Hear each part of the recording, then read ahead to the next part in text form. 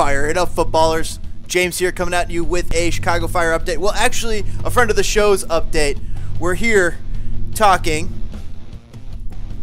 Piotr Nowak, friend of the show. Awesome podcast. Check it out. Uh, first off, follow him on Twitter at Real Piotr Nowak. He is now the new coach of Jagiellonia Bialystok.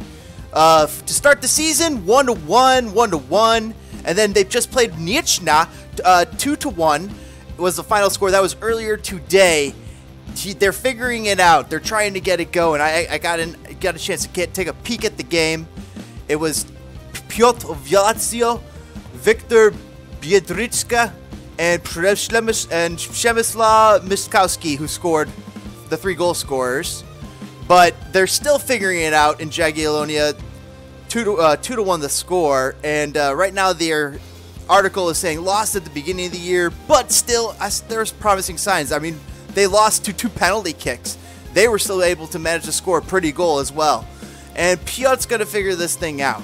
Just got to give him a little bit of time. Uh, He ran out the same lineup.